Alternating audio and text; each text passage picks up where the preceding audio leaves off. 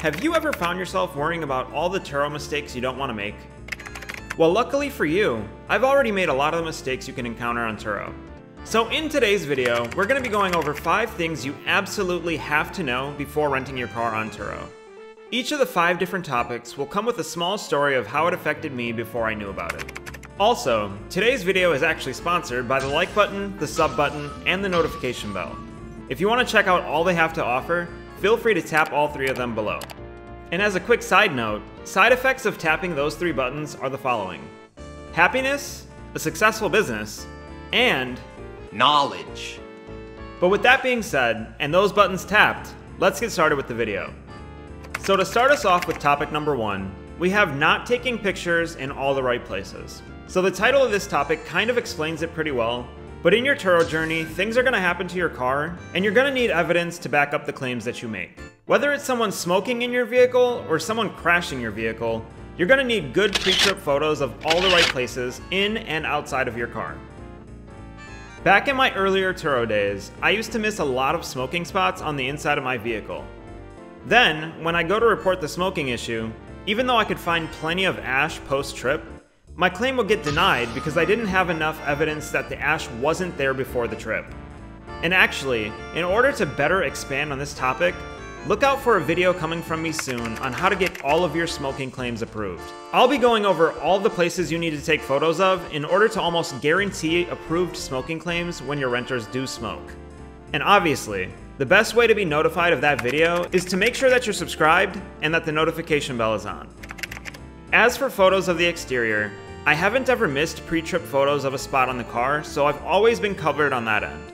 But let's move into topic number two, because it also has to do with photos, and I've been burned badly with it. So topic number two is not checking all the areas of your car post-trip.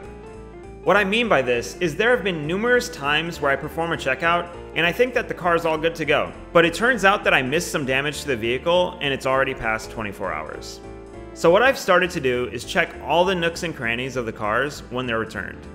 Places I've been burned on before are checking the gas cap and recently, opening the sunroof cover in order to check the actual sunroof glass. Just this week, we had a renter return a vehicle and the car had another rental set for 28 hours later, so it didn't get booked in between those two rentals. And when I checked the vehicle initially, everything looked perfect. But when I went to get the car ready, I took it for a car wash, and it started to literally rain from the ceiling. Turns out that the previous renter had destroyed the sunroof glass and didn't tell me about it. At that point, it was already too late to make a damage claim on the vehicle, and it is a cost that I have to eat now. But that's okay because it gave me this lesson to be able to hand down to all of you. So make sure to check all the places on your car when your cars are returned. On to topic number three, we have being on the 60 plan. So this topic is for all the Turo hosts out there that are terrified of your cars getting damaged. You need to understand that it's bound to happen. You like the comfort of being able to report damage on rock chips, I get it because I used to be like you. But the thing that Turo doesn't tell you about the 60 plan is that if you put in too many claims, you know, like every time your car gets a rock chip or a tiny scratch or whatever the case might be, they're going to eventually call you up randomly and basically tell you to stop making too many claims or get off the 60 plan, or else. Basically, if you don't stop putting in a ton of claims, they're going to kick your car off the platform or restrict you to the 90 plan. So with that, and the fact that you're giving 40% of your earnings away, it turns out that running your fleet on the 60 plan just simply is not worth it. You're making pennies on the dollar. And in my eyes, the only people that rent on the 60 plan have an attachment to their vehicle, and in my opinion, this is a band-aid that just needs to be ripped off. Moving on to topic number four, we have charging guests before rating them. So let me break this topic down for you. Have you ever received a car back from a trip and the gas wasn't full? Or they drove extra miles? Or left a bunch of pet hair in the car? Or maybe all of the above? So you, being the entrepreneur that you are, went immediately to charge them for the incidentals or issues because you want to get paid. I get it. And then 20 minutes later, you get rated by the guest and you see it's a one star with no explanation. Yeah, I've been there and I've seen that.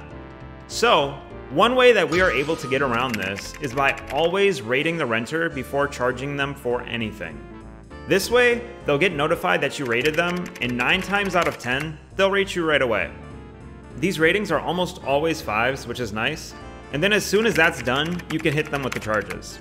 This is one great way to keep your 5-star ratings up, and you can definitely thank me later, or you could even thank me right now by hitting the like button. But anyways, we've made it all the way to topic number 5. For topic number 5, we have holding on to a car for too long. So for some of you that are new to Turo, the ones who just bought their first car for their fleet, or even those of you that have been on the platform for like 6 months to a year, you may still be on all of your original cars right now, but there's gonna come a time where you have to part with your vehicles. Whether you trade them in, or sell them privately, or whatever the case might be, you will have to do it at some point. And one mistake that I've made that you hopefully won't make is holding on to a dying car for way too long. So, let's talk about my 2013 Range Rover Evoque. I had it on the platform for a little over a year, and in terms of money in the door, it was one of my best breadwinners. But in the last three months that I owned it, things were going wrong with it left and right. I replaced the turbo exhaust, the radiator, the heater core, the battery. I mean, you name it, I probably replaced it. And in the last couple weeks that I owned it, the car sprung another check engine light, and there was a part of the computer that needed to be replaced. I decided I was going to fix that and then get rid of it. And the decision was made because this car had cost me nearly $6,500 in the span of three months and I honestly didn't want to find out what needed to be replaced next. So to make a long story short, if you start to notice that you're repairing one of your vehicles over and over and over again, you may want to consider if it's worth it to keep it around. But hey, I know I said I was only going to cover 5 topics, but as a thank you for hitting the like button, because I know you definitely did, I'm going to add a bonus topic here. The bonus topic for today is doing Turo from your home location. Please, please, please, please do not make this mistake. In my earlier days, I was renting out my vehicles from my actual home. And over the course of your Turo journey, you're gonna have a couple people that get mad at you for dumb reasons. Maybe they smoked in your car and they're mad that you charged them. Maybe they returned your vehicle on E and drove an extra thousand miles and thought that it would be free. Either way, it's super possible that some of these people could retaliate. And if you're renting your cars from your home, they know exactly where you live if they ever want to do anything. I haven't had any bad situations arise from this, but I'm sure there are people that have had crazy things happen to them while doing so. In my opinion, it's definitely worth the money to pay for a location to rent your vehicles from. So if it were me, I'd sit down, review my business finances, and work in that cost. But with that being said, I want to thank you for watching today's video. I hope that you found one, two, or maybe six topics that you've learned from and can use moving forward. If you liked the video, I'd appreciate you tapping the like button, subscribing, and hitting the notification bell to be notified of future content. And until next time, take care everybody.